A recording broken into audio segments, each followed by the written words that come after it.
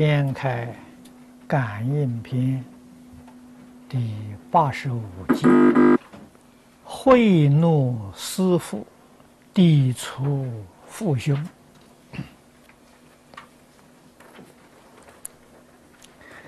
这个两句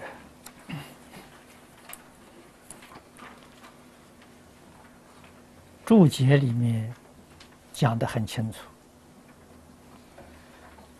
此与慢其先生有别。啊，慢是轻慢。我们一般讲呢，没有把师傅看在眼里。啊，所以慢是无故而慢之。这个地方啊，贿赂师傅啊，说此事因教子而贿赂之也。啊，老师教训学生，学生不服啊，啊，心里面呢会怒，啊，会是心里面的憎恨，啊，怒是表现在外面的。古人四思之道啊，无犯无隐，啊，这四个字。是古时候学生对待老师的态度。凡有所教，皆当虚心和气以受之。何可贿怒乎？贿赂者，必是不服、无福之人。这个一段话，我们应当记住。现在世风日下，私道已经不存在，不但私道没有了，实在说呢，孝道。也没有了啊！所以今天的社会，我们普遍的可以看到、可以听到，儿女不孝父，学生不敬师长，啊，已经形成了风气了。我们处在这个社会里头。应该怎样去做？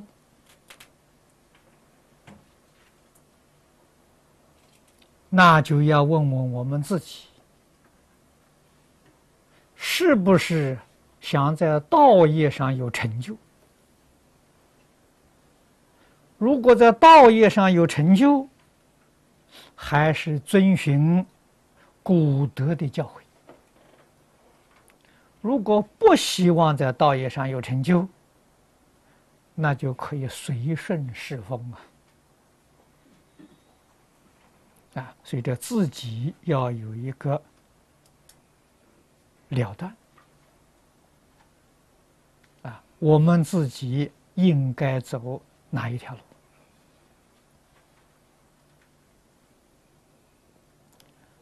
老师的责备、教诲。如果我们觉得老师错了，啊，古人有涵养的，他无犯无隐呐。那我们的涵养不够的，可以向老师请教。啊，老师的责备，啊，我犯的什么错？我自己觉得我没犯错。老师认为我犯错，错在哪里？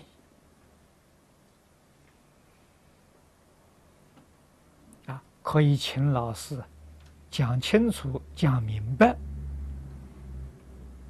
哎，老师毕竟年岁比我们长，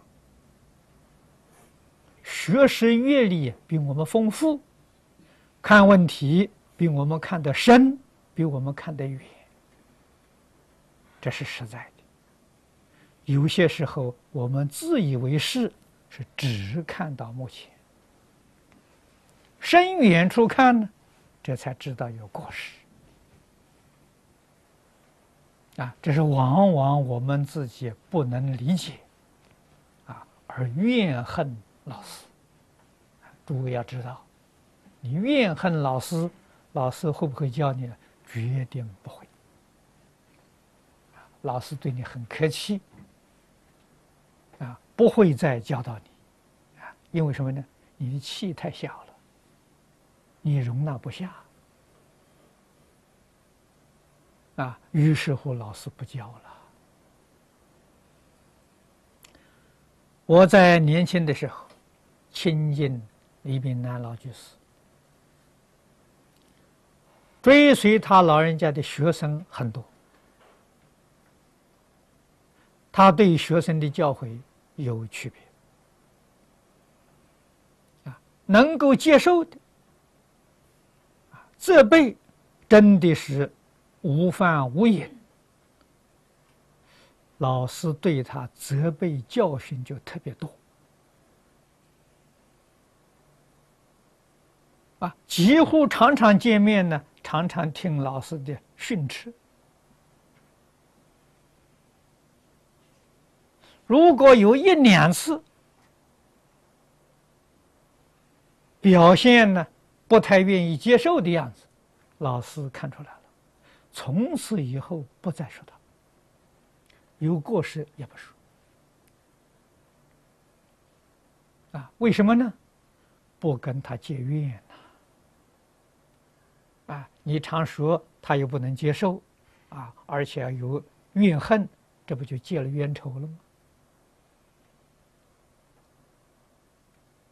啊，所以老师聪明呢，不跟人结冤仇。啊，你能接受的，我教你。啊，这印光大师讲了，你一分沉静，教你一分；两分沉静，教你两分。你没有沉静心，就不教了。啊，上课讲学，你在旁边旁听就好了。绝不把你当做教学的对象那么由此可知，损失在哪里？损失在自己呀。下一句“涤除父兄”，这八个字，在佛法里面讲，是佛法的根本。佛法的教学是从孝敬开始啊！你看《敬业三福》，这诸位晓得，第一句“孝养父母，奉事师长”，啊，佛法从哪里开始？从这里开始啊！佛法也是从这里圆满啊，成佛了。成佛是什么呢？孝亲尊师达到究竟圆满，这成佛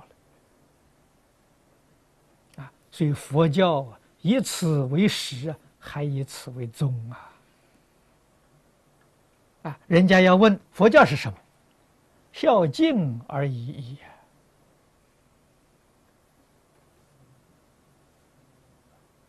这是我们学佛的人一定要懂得的。学佛学什么？就是学孝学敬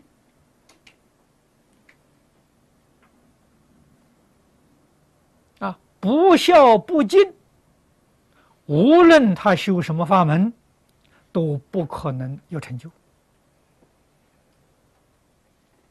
啊！这是我们必须要懂得的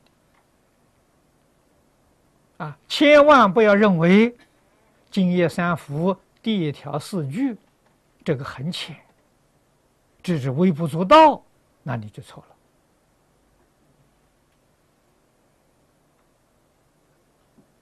了。啊！一切诸佛如来证得究竟圆满的果位，还是这四句。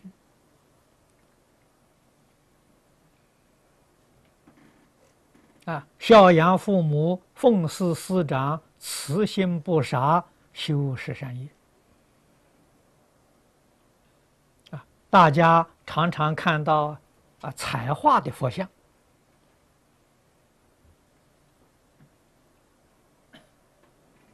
啊佛的头部有圆光，圆光上面呢常常写了三个字，啊这三个字有用梵文写的，有用藏文写的，也有用中文写的，啊这三个字。嗡阿吽，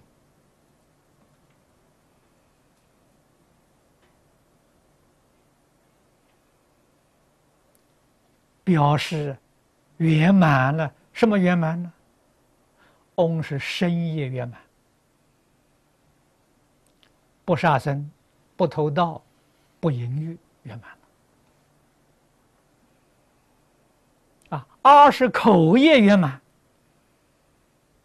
不妄语，不两舌，不恶口，不欺语。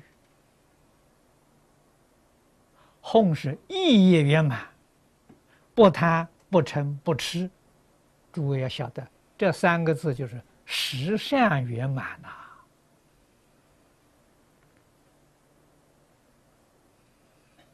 十善圆满的这个人就叫佛陀。我们怎么能把这个看作小事呢？啊，甚至于一般人看作这是小小戒，啊，小小戒无所谓，啊，不知道小小戒的圆满是佛陀，是根呐。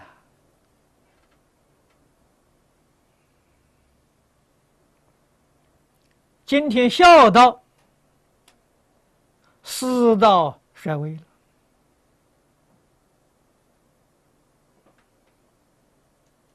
我们如果真正发菩提心，真正想啊自利利他，从哪里做起呢？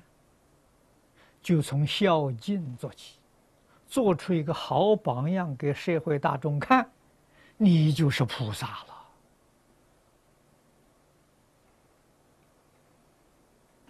你就是在弘法利生呐！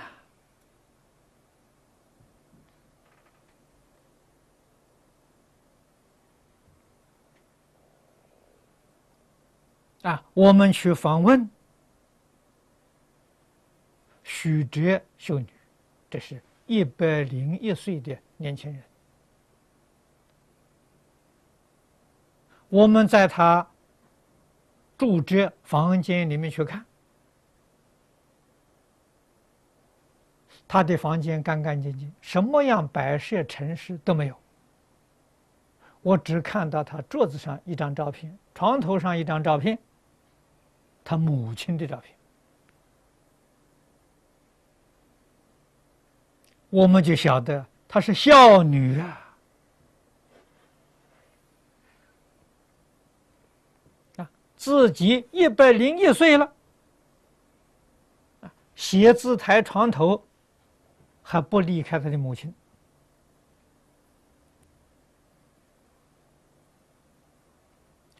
孝亲必定能尊师，孝亲尊师必定能够有爱一切众生，菩萨了，真菩萨了，不是假菩萨。所以我说，敬业三福、三归无戒十善。我们现在人要来评分呢，他得满分呢，他得一百分呢。啊，他没有受过三规，没有受过五戒，他全做到了。所以，诸佛菩萨、众神保佑他。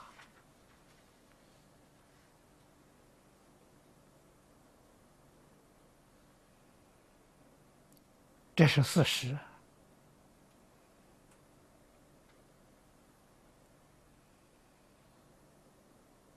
啊，我们今天一切作为弘法利身呐。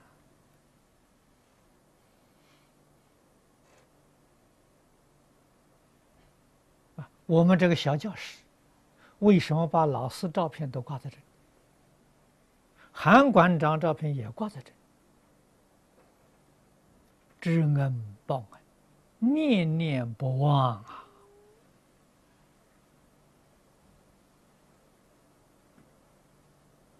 我们能够认识佛法，能够理解佛法，能够修学佛法，从哪里来的？老师指导的。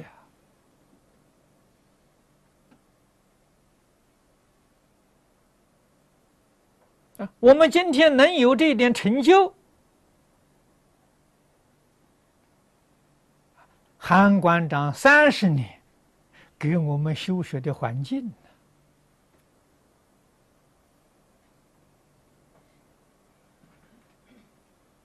啊，老师好比是生我的父母，护法呢是养我的父母。老师能生，如果没有人护持，没有修学的环境，那还是枉然，还是一无所成。啊，今天的社会，大家所见到的忘恩负义啊，我们要挽救这个社会，那一定要对症下药，啊，他忘恩负义。我们提倡知恩报恩，啊，他轻慢贿赂师傅，我们对师傅特别恭敬，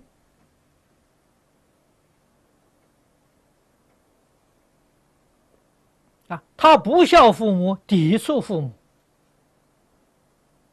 我们要特别做出孝顺，给世间人看的。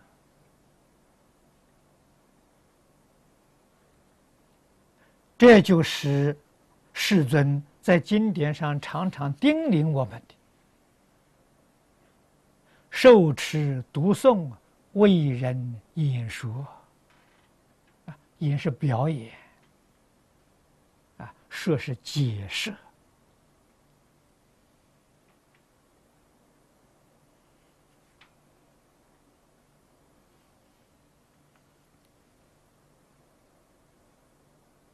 我们要明白这个道理，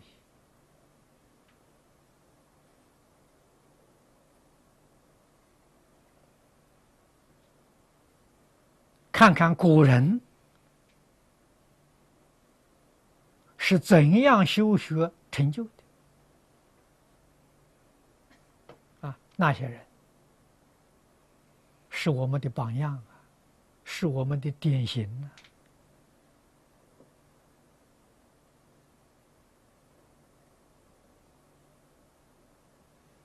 在世尊教学当中，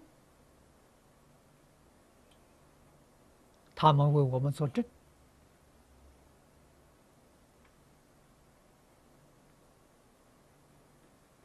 啊，使我们听到了、看到了，就能够断疑生信。能够精进不懈，学业道业，自然就有成就了。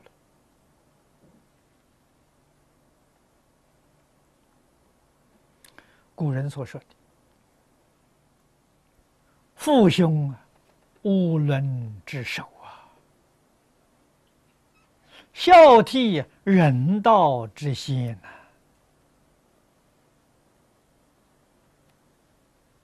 啊，纵然父母师长不公平，有偏心，啊，有偏爱，我们也决定要和颜悦色，诚实受教。这自己得利益了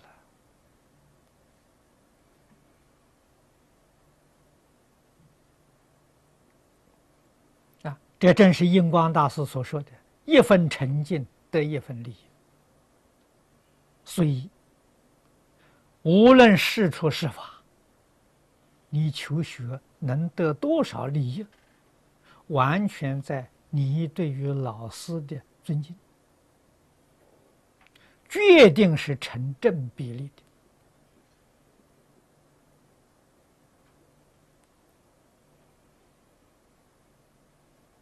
的。啊，绝对不可能有一个不孝父母、不敬师长啊，他会有成就的。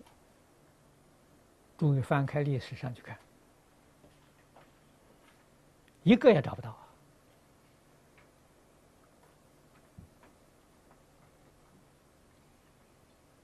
这个时候，我们就要深深反省了。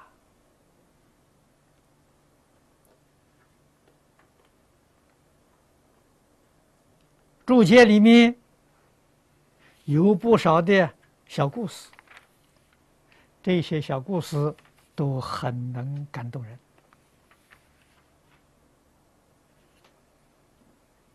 啊，你不要把它看成神话故事，那你自己就错了。啊，这故事的头一条讲明朝时候啊，汪会道。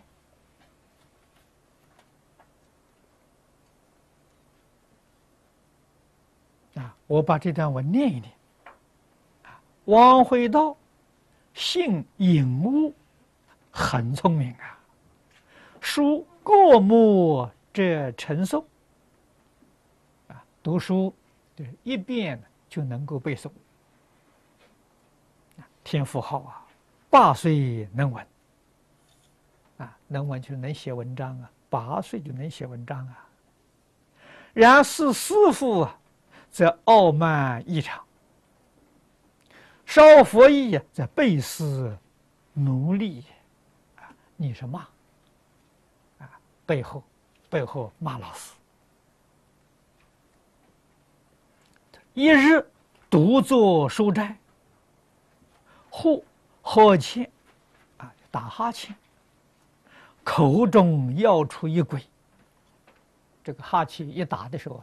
啊口里头啊，吐出一个鬼出来。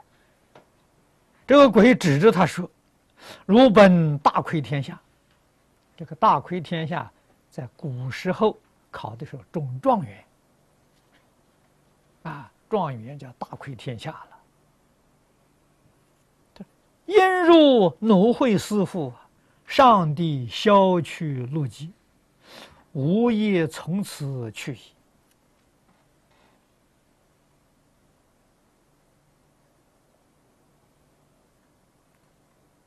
啊，因为贿赂师傅，上帝把他这个名字勾销了。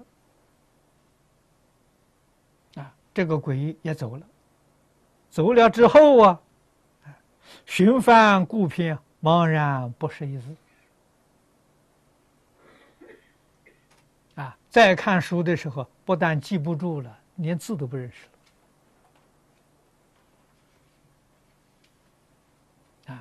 大家念这一段，你把它当神话看也可以。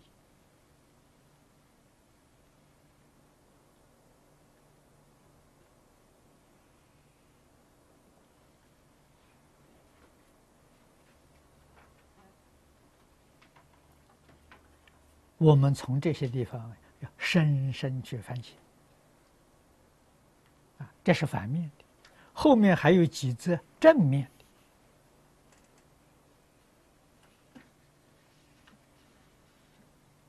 纵然老师啊多次的责备教诲，他还是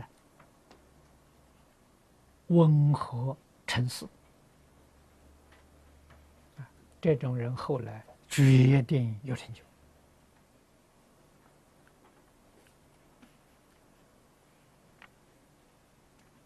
佛法是师道。师道建立在孝道的基础上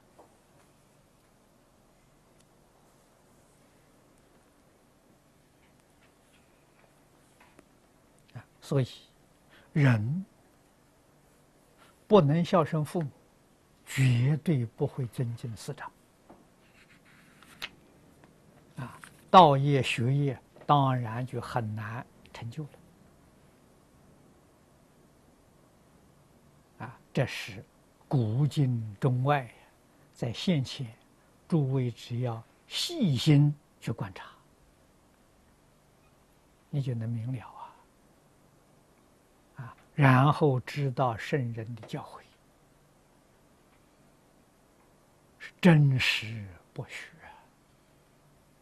我们应当虚心去学习。诸位同学，大家好。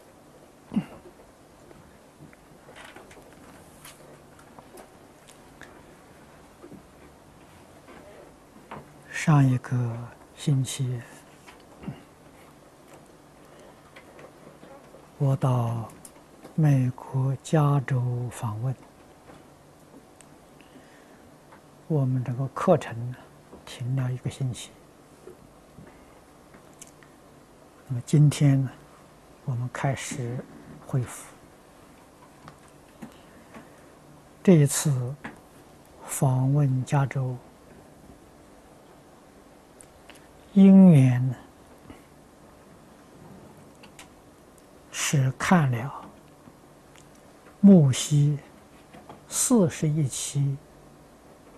美国青少年犯罪统计的数字，我们这一次到旧金山、洛杉矶两个地方实地去观察，这个数字还在不断的上升。这是一个危险的讯号。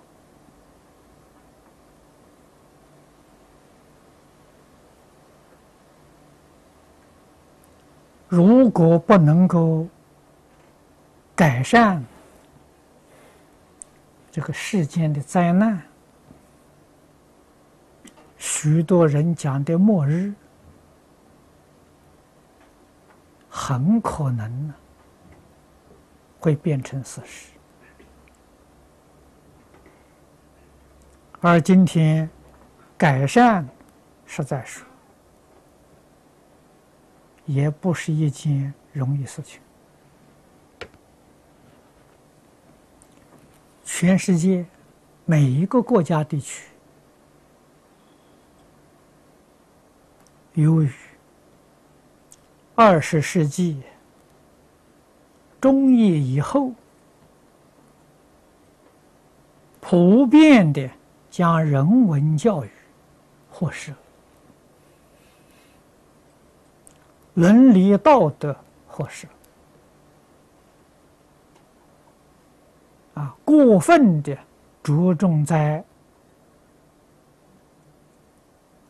工商、科技、经济上的。发展啊，于是局势之意识形态里面，无一不是充满竞争。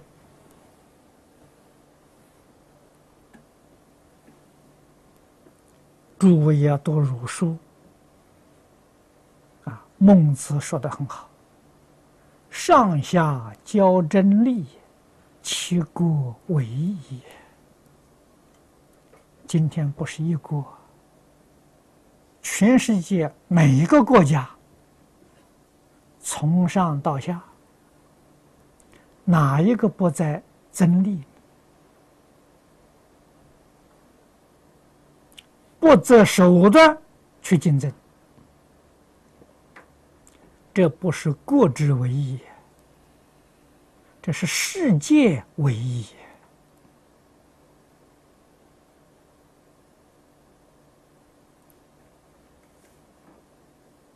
能挽救世间的机运，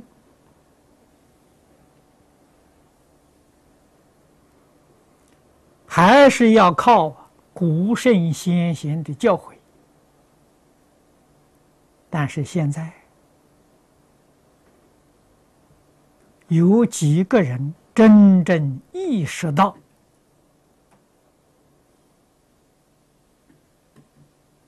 几千年前这些先生，他们的智慧，他们的经验，他们的方式。对现代社会能起作用吗？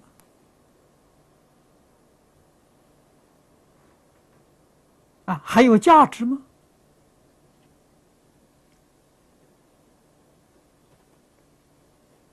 存疑的人太多太多了，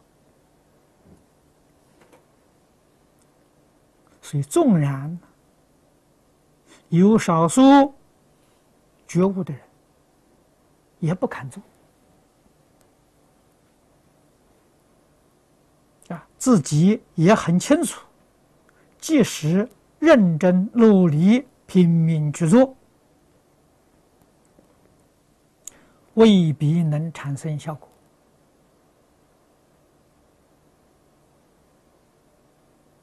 李炳南王老老居士往生前一天。抱着非常悲观的态度，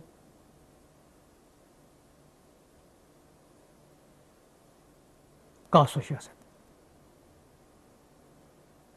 世界乱了。他说：“祝福菩萨、神仙下凡都救不了，唯一的一条生路啊，老实念佛。”求生净土，这是李老师最后的遗言。我们听了非常难过。他说的话是实话，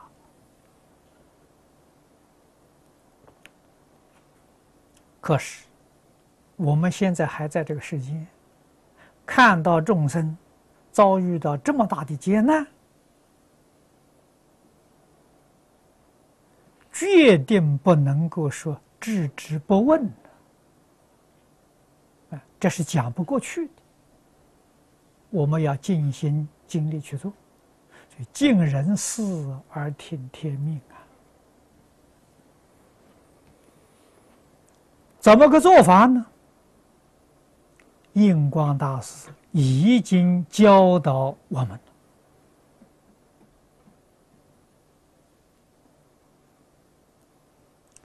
除了宣扬圣教之外，特别加强因果理论与事实真相的教导。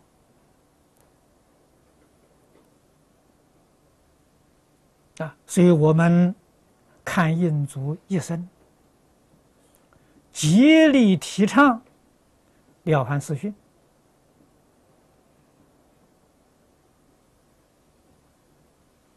感应篇》《暗示全书》，就知道他老人家的用意了。这三样东西，确确实实。能够挽救劫运。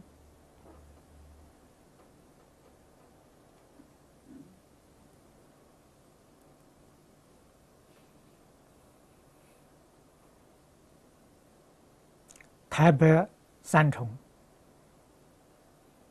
廖居士在那个地方极力提倡忏悔改过法门。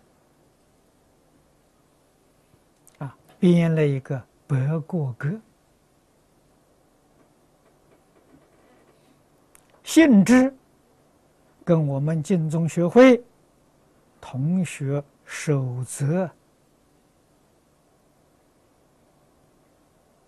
相应，大量的在流通，劝勉大家普遍的学习。台湾同胞如果能够啊认真好学，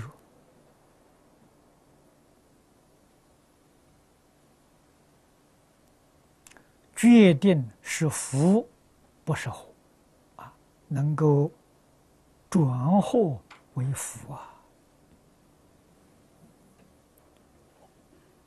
祸福是果报，善恶。是业因转变，一定要从因上转变啊，能够真正转恶为善，转迷为悟，就能够转祸为福。这个办法。要向全世界推展，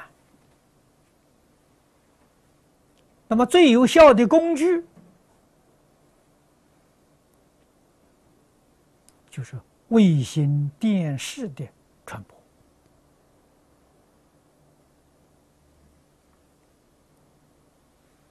啊，我这一次到北美，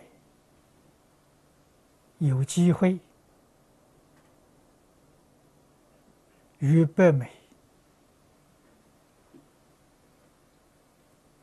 啊卫星电视传播公司的董事长啊肖先生啊总经理见了面，他们对于。这个世间的劫难都非常关心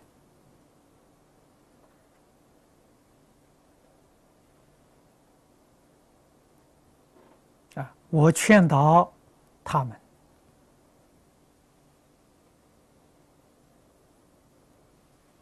过去三十多年前，有人问方东美先生。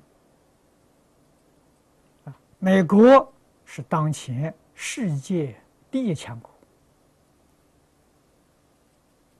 但是从过去历史上来看，再强的国家也会有灭亡的一天。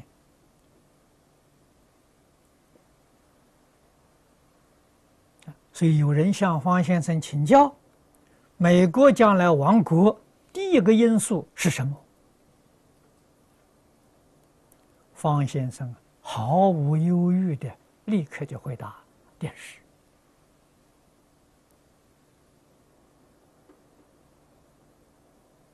啊，你看电视的内容，这是社会教育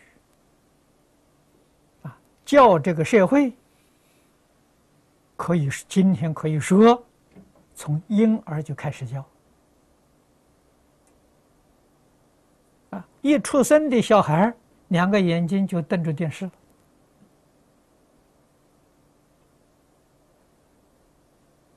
这内容是教杀盗淫妄啊，所以儿童犯罪率会这样高，与这个关系太密切了。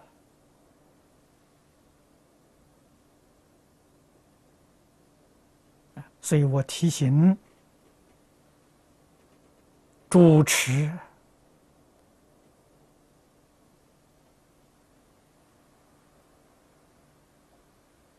卫星频道教学的这些负责人啊，电视可以毁灭这个社会，可以毁灭这个世界。现在还加上网络。同样的，如果能够反过来，它是个工具，利用这个工具宣扬正法，劝善归过，电视可以挽救社会，可以挽救这个世界。就在主持人呢一念之间，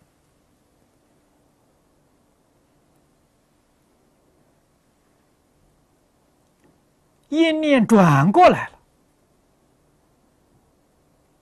纯善而无恶，不以盈利为目的，以救世为目的。这个电视台就是道场，是诸佛菩萨的大道场，是所有一切宗教、上帝神圣的大道场。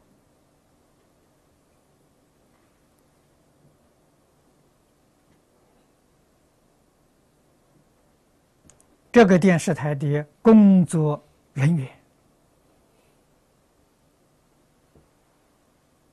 从领导到所有的员工，都是菩萨，都是神圣的使者。他们来救度这个世间苦难的众生，功德无与伦比。啊，就像佛经上所说啊。三世祝福来说，也说之不尽。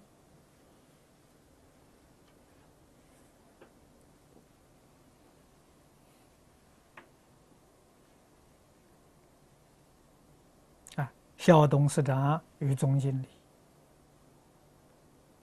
给我的谈话，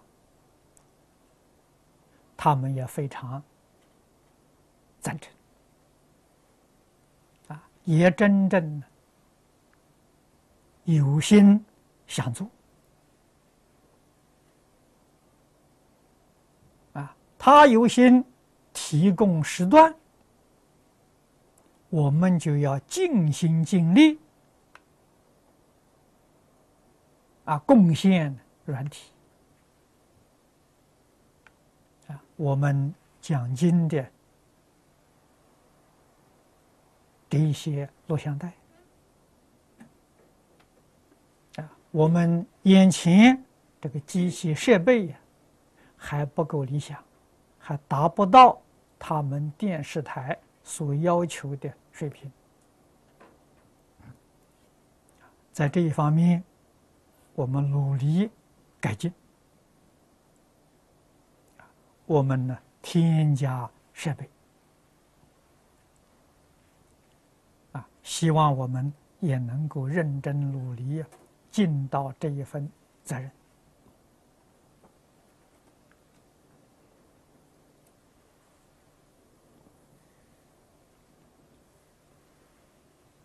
许多地区同参道友见到我，也很同情我，也很能够怜悯我，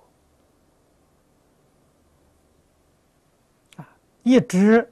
到今天，我还是孤家寡人一个。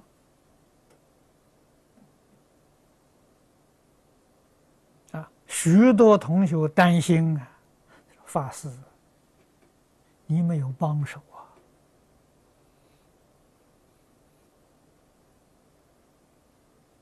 你没有后继的人才。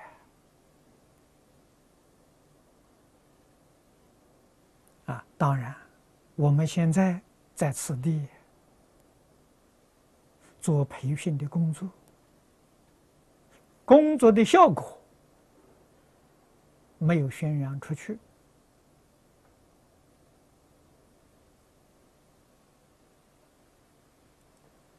佛法自古以来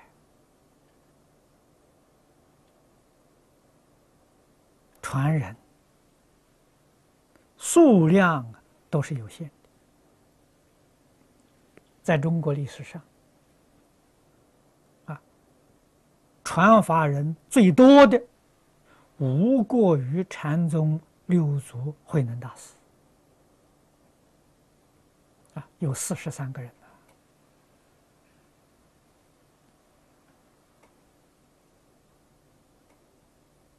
而只传一两个人，这种情况非常之多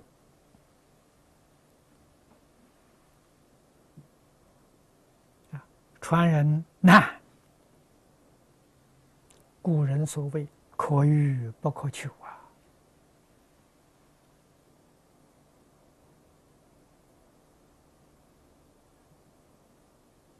啊，但是有没有呢？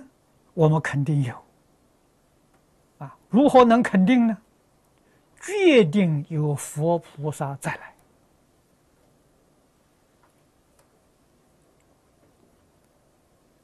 啊，那个不是普通人呐。普通人离不开自私自利，放不下名闻利养啊！啊，所以不能欺辱佛境界。原因在此地。啊，什么是凡夫？什么是佛菩萨再来？从这个地方啊，我们就能够观察到了。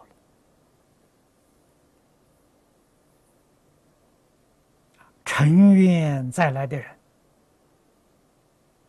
啊，决定能够放弃自私自利，放下名闻利养，舍弃五欲六尘的享受。诸位在此地看到的啊，这个。一百零一岁的修女啊，许哲，你们看她，这个就是佛菩萨再来的。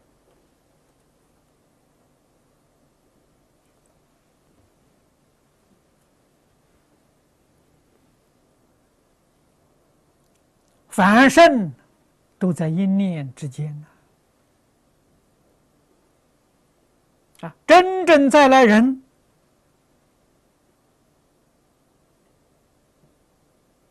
佛家常说有各因之迷啊，也会迷惑颠倒一段时期啊。但是这种人一接触正法，他就觉悟，他就回头了。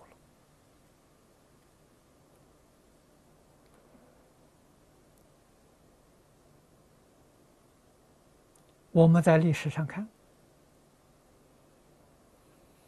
天亲菩萨如是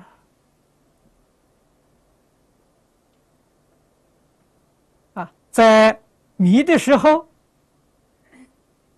毁谤大臣啊，觉悟了之后偏赞大臣，回过头来了。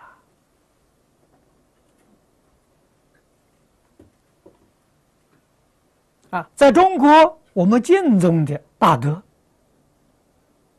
啊，我们在传记里面看，偶一大师，这了不起的人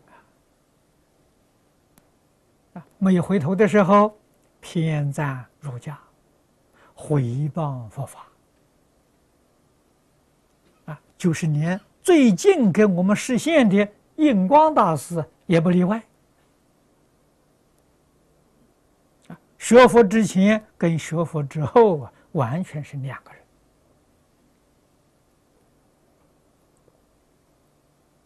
啊。有人回头早，有人回头晚，这是过去生中啊善根福德因缘不相同啊。早晚他会回头啊，这个人。就是再来人啊！一回头，就是尘愿再来，这个意思。我们在讲习里面多次的说明过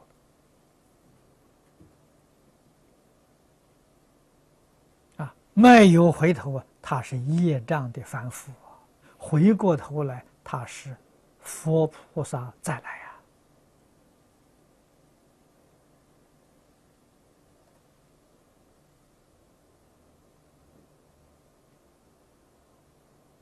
他的形象会有一百八十度的改变。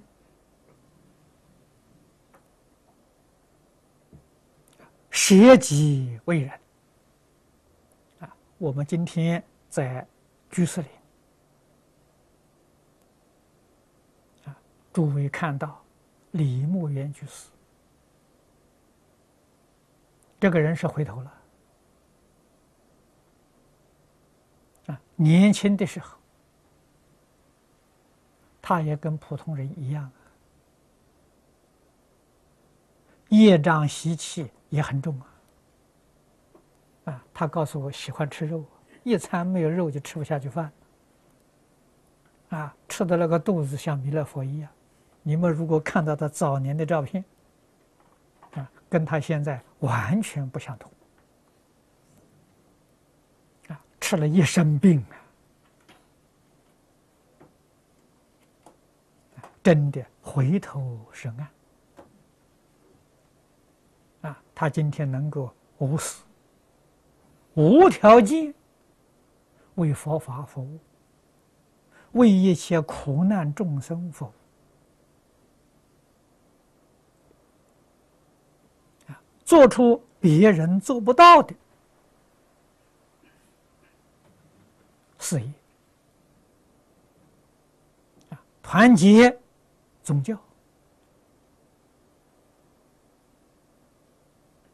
和睦族群，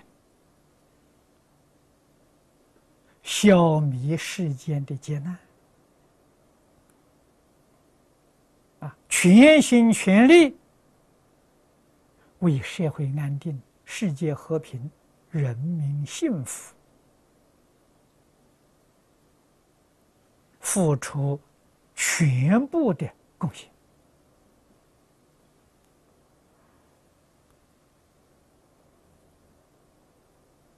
没有自私自利，没有名闻利养，